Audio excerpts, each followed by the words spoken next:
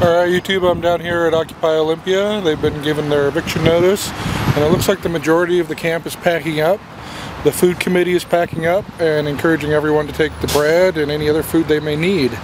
Uh, some people are going to camp in the woods. A lot of these people are homeless and have no place else to go. So this is interesting. Two months uh, to the day that this protest started, uh, just a week before Christmas, the governor decided to kick these people out. Don't know what that message is. Let's see if anybody wants to interview.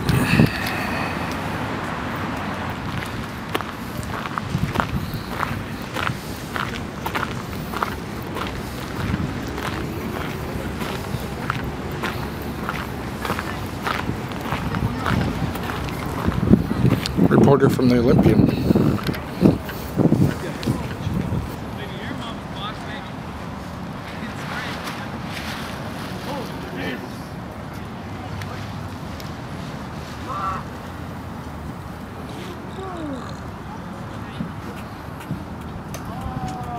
Alright, just go ahead and say who you are, what, what you want to say. You don't have any questions for me? No questions. This is a chance for you to talk about what's going on while you're here. And if you want to say something about what's going on today, that'd be great. Okay. I'm Bruce Wilkinson. This is uh, December 15th. This is the uh, day of the eviction. The day that we were told that we had to leave this area. It's uh, knew this day was coming. It's the day after the end of the special legislative session, which is why we're getting evicted today. All the press has left town. Not a chance for any sort of interruptions of the Capitol. So I feel like that was the main reasons for this date.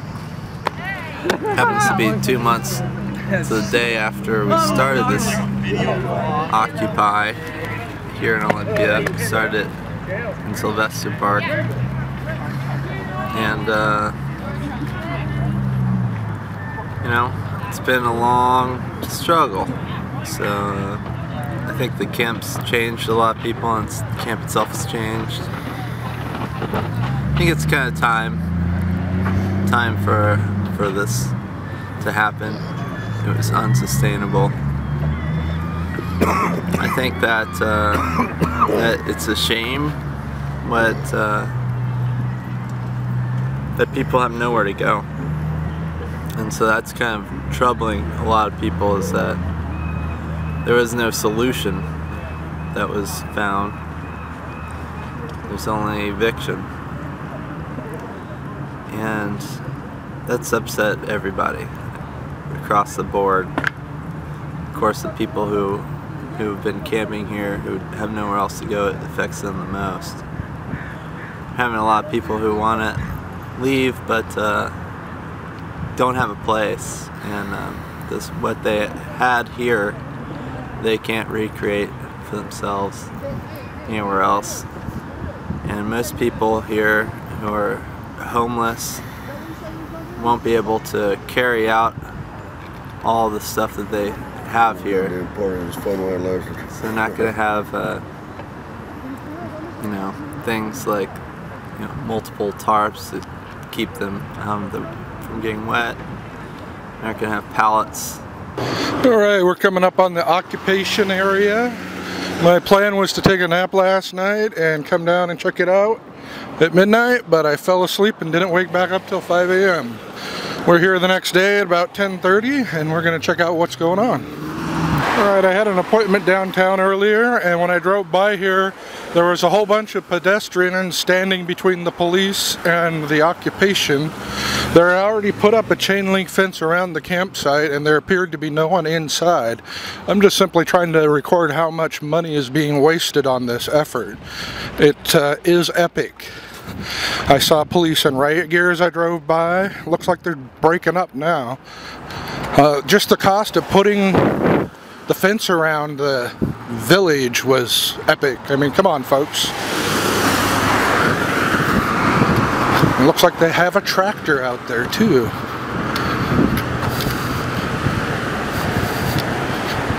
This is your taxpayers' dollars being wasted by bad judgment.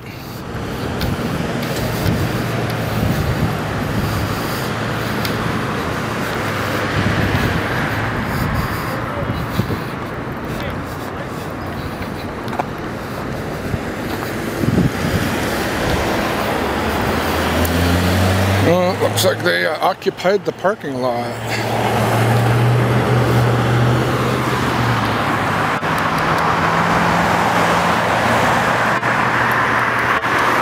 Or the police occupied the parking lot. There's 1, 2, 3, 4, 5, 6, 7, 8, 9, 10, 11, 12, 13 vehicles. And there's a camera crew over there.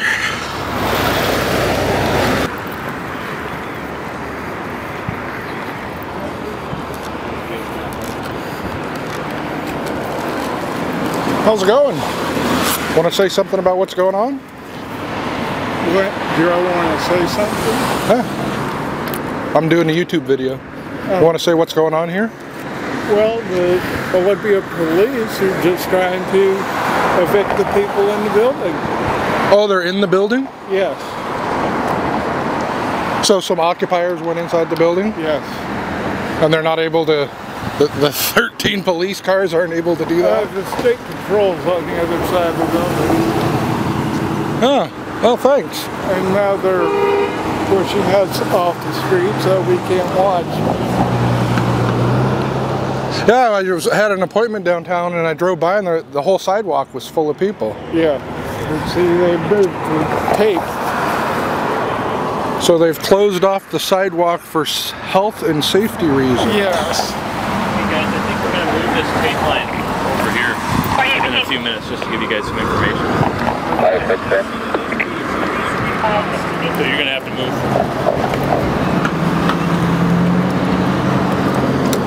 Wow. Kicked off the sidewalk.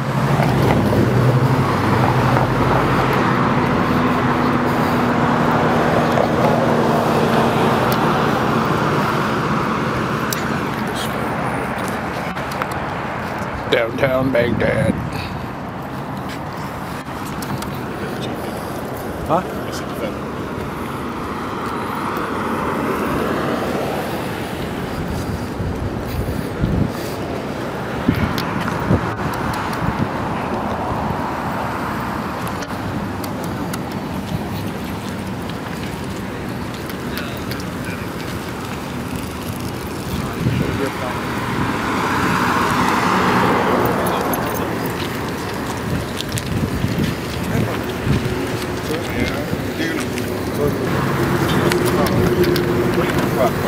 Asked if they had a public relations person on site, and they don't know.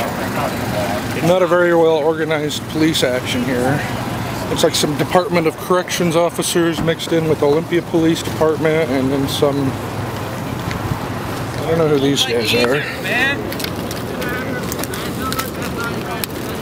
And those guys aren't identified as being part of any police department. like the Eastern European bloc, man.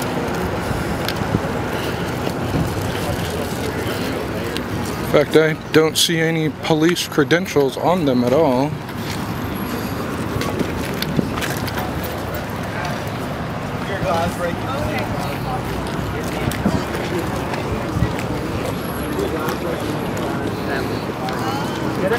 Brother, what is going on?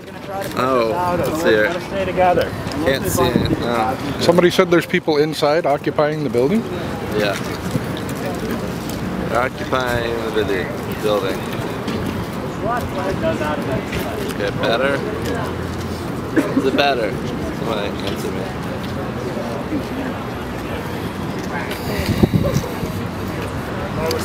This is definitely not the spot I want to be in. The police look apprehensive and bored. Alls we are saying is give peace a chance. I can't help myself.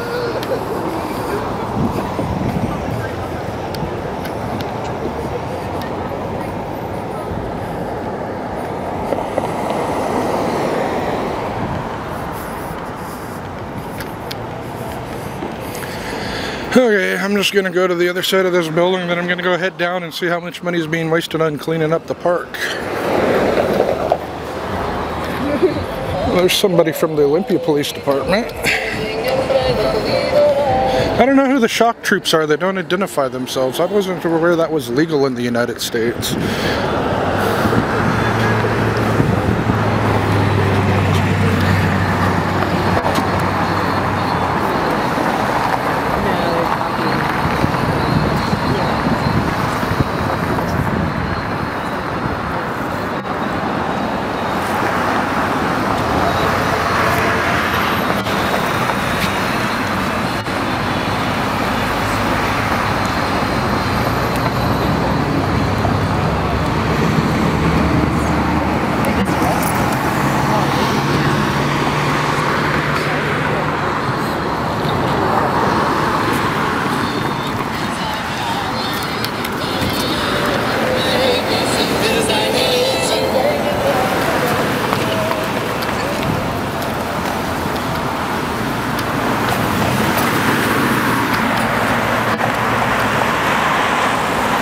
That guy's got like an assault rifle or something.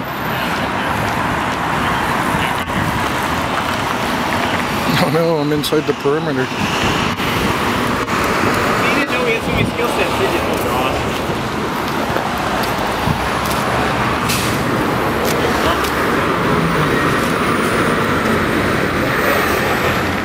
This is not closed. Huh? This is closed now. It's closed.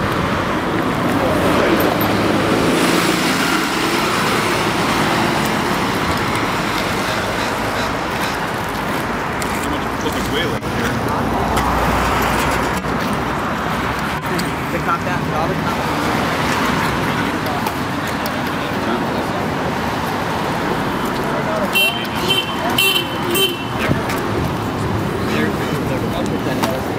That independent witness was saying, yeah, like he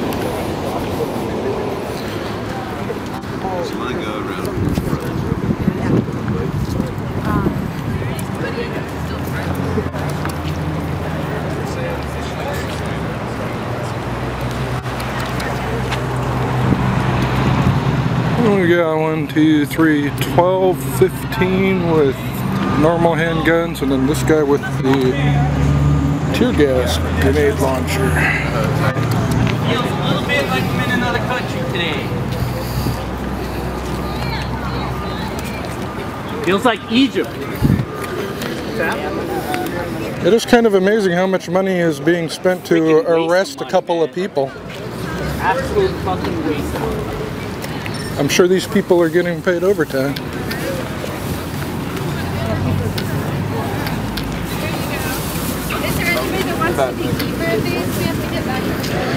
Okay, they've closed off the sidewalk of the surrounding building. They supposedly somebody's inside. We're gonna go see how much money is being wasted on the park. How you doing? And then they have a couple of uh, people outside of the perimeter. Not sure what their purpose is.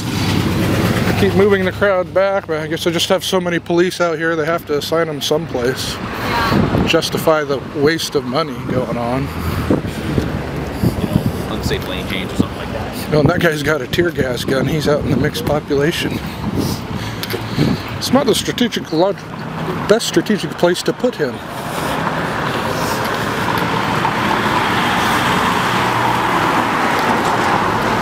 They're on every building. Oh, yeah. Guess they're out on perimeter for a couple of blocks down.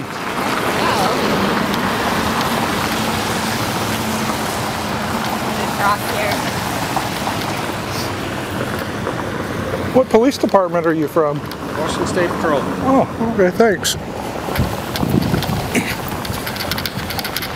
That was easy. Now they rented this fence from a private company and erected it around the park. There's nobody even at the park. They moved over to the building down there. And it's just a huge waste of taxpayers' dollars while they're cutting social services.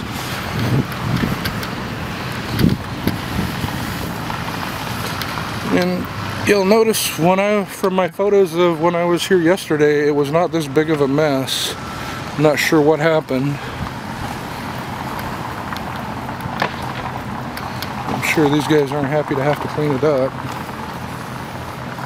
I don't know when it be. And they closed the road too. Talk about overreaction.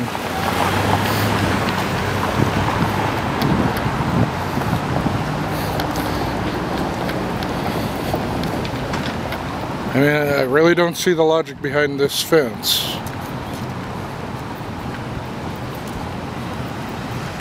I see they have a whole bunch more police cars here. My gosh, there's got to be over a, close to a hundred police for an empty camp. Governor, you made a bad decision on your budget this year.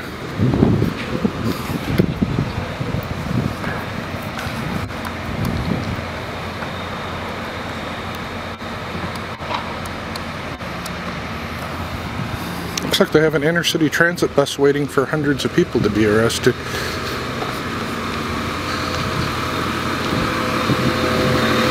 Well, I'll ask these guys once again if they have an incident response person. Uh, no public relations officer once again, and I have to be on the other side of this barrier. It's a secure area. Lots of waste going on here. Government doesn't want to talk to me. Nothing unusual.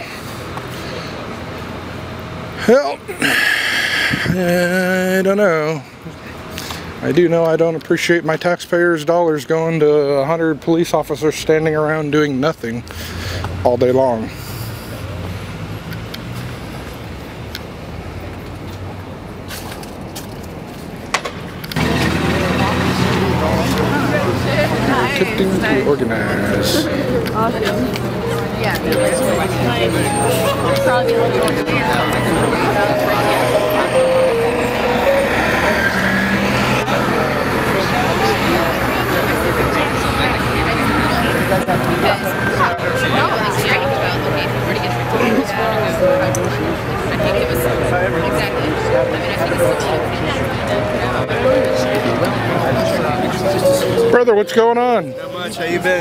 Good. Good to see you.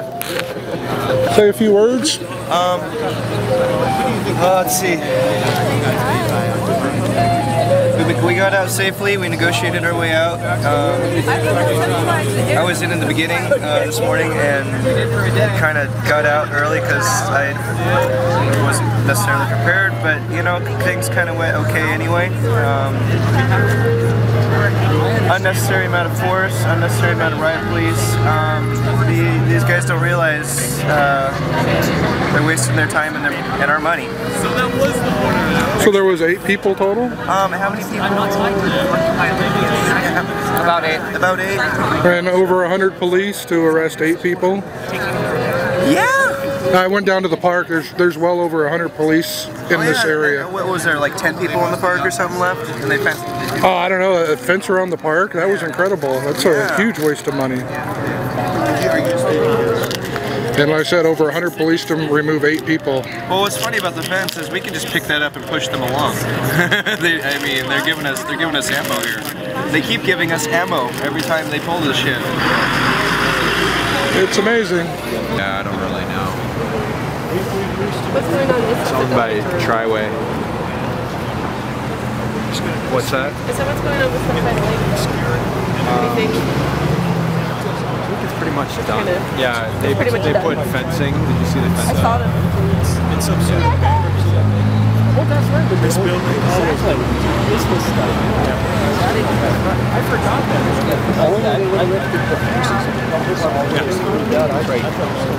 It's all coming out.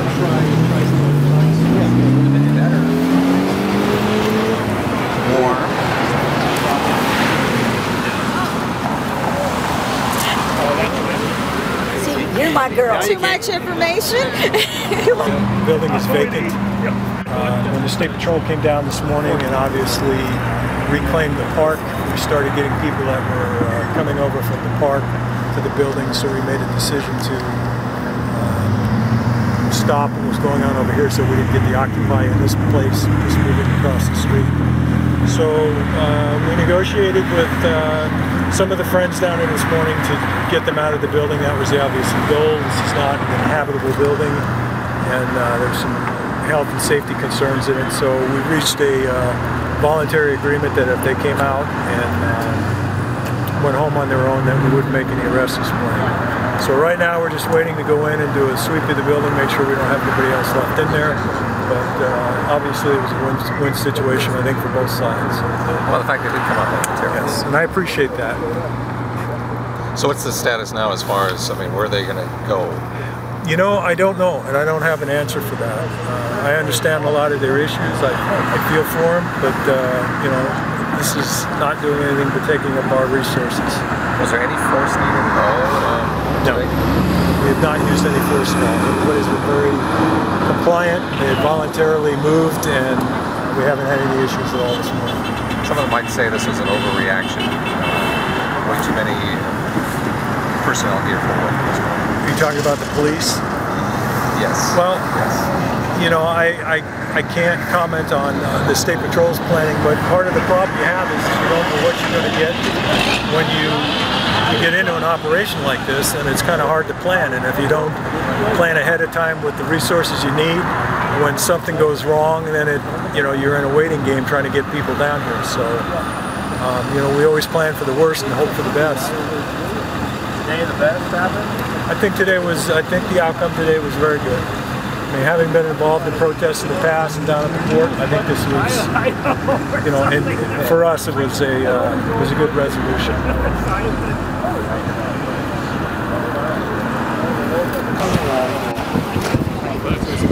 Really? How's it going? Great. We got the kids out, that's all I care about. I didn't want them sacrificing and getting felonies on their record over this. We got potential college, college professors in that group. Those are really the brightest kids. that- Now I know why he's grabbing the camera too. Because he always Speed out of the Look at 60s. this You guys guy. were all just like walking out and then grabbing the camera. Barry, Barry was walking some guy by the corner.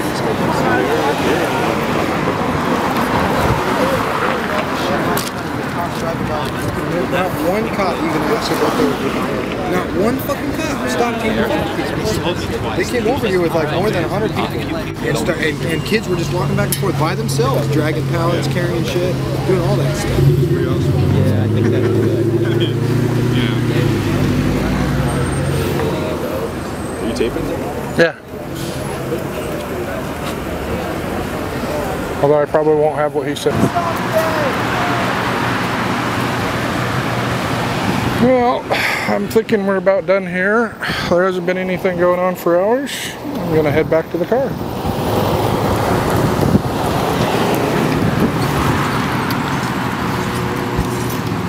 And oh yeah, by the way, they erected this uh, tape barrier after they had removed the protesters from the building.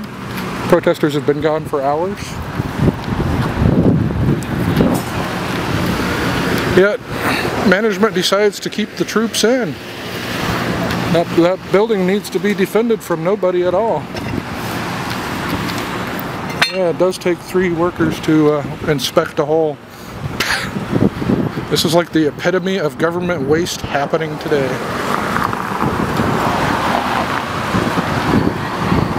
They've got people out in the streets.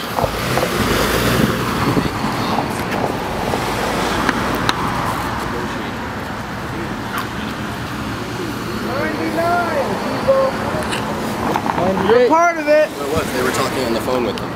They were negotiating. Getting Yeah, don't screw up. And you're like, you don't go around thanking for everything. Let's not punch you in the face.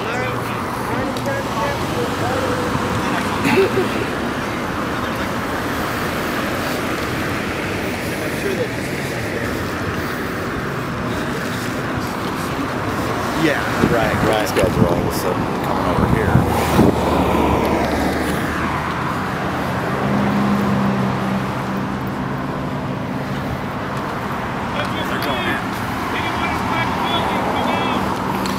Look. Three hours after they were evicted, they're going into the building.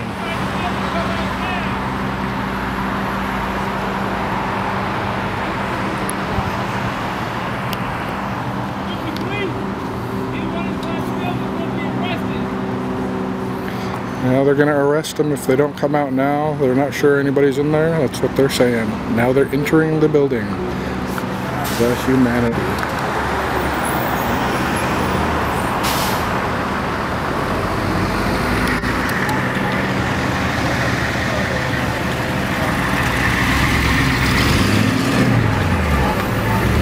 This guy pulled in the wrong spot.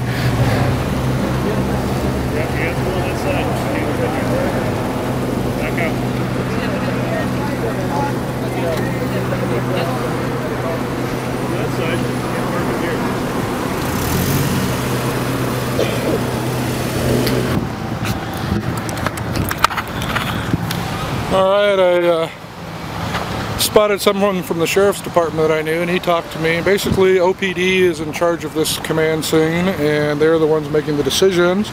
The Thurston County Sheriff's Department is just down here to show support, and they are doing first priority responses inside the city of Olympia.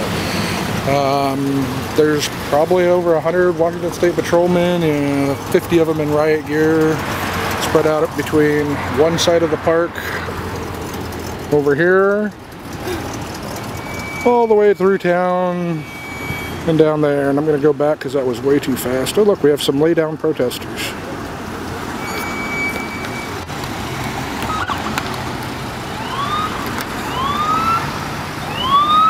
That are not in the street. So oh, we have police from here. About 30 of them on that street and there's groups of two on every corner of every block for several blocks down. And there's uh, several hundred or several squads over on the other side of the park doing nothing. Where I got kicked out of earlier.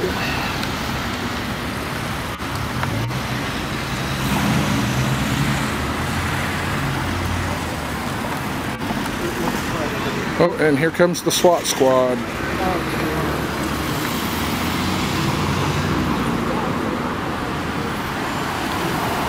And after OPD went into the building, Thurston County Sheriff's SWAT squad showed up and they are hanging out in the parking lot.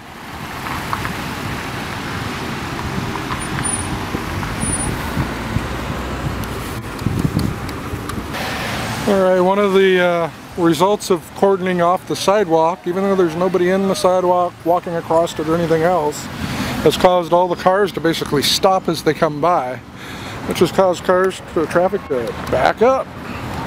Protesters aren't even doing anything. It's just the police cordon.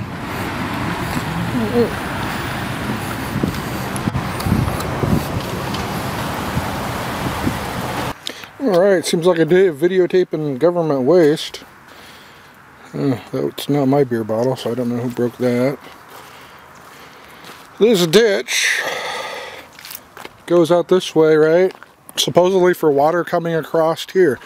My grandfather donated this piece of property here out to here so this road could be made. And there has never once been any water coming from over here, under here, and across to there. It just doesn't happen. Yet the government sent out a crew to dig out that ditch, put some straw down, paint these signs that are completely worthless, and it's just incredible how much money can be wasted. This comes out of our gas tax dollars, because it's roads, on stuff that doesn't even need to be done. What's going to happen is all the water from our driveway is going to come down here, and it's going to go over there into that, that ditch. It's going to fill up this guy's yard when it floods, and it's going to go across the road. There shouldn't even have water coming down this way. It should go across there where it can drain. But the county took the ditch from across the road out. So once again, we got a big ditch for absolutely no water that will be going through it.